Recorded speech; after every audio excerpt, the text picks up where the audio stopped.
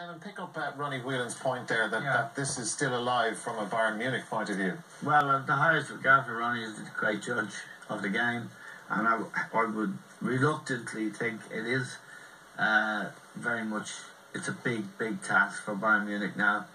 Um, I don't think they have. They have to score twice in Madrid uh, without conceding, uh, t- or win uh, three one.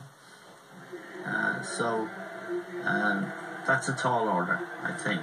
But certainly, in in one sense, he's right.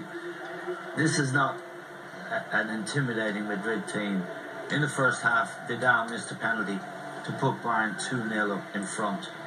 So it could have been, you know, it could the result could have gone the other way. Um, Casemiro's the holding midfield player for Madrid is pretty ordinary, uh, and they're not bulletproof at the back. They haven't kept a clean sheet since November.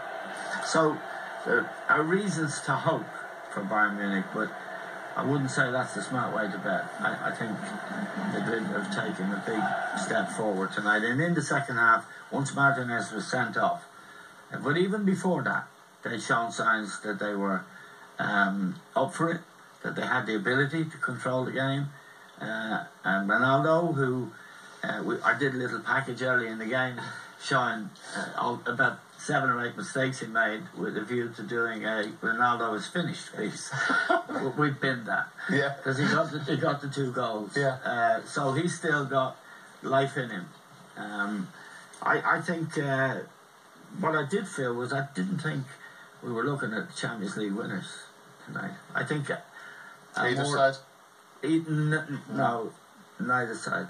I think Atletico Juventus will possibly grind one of those into the ground because I think Madrid are they're not um, intimidating going forward.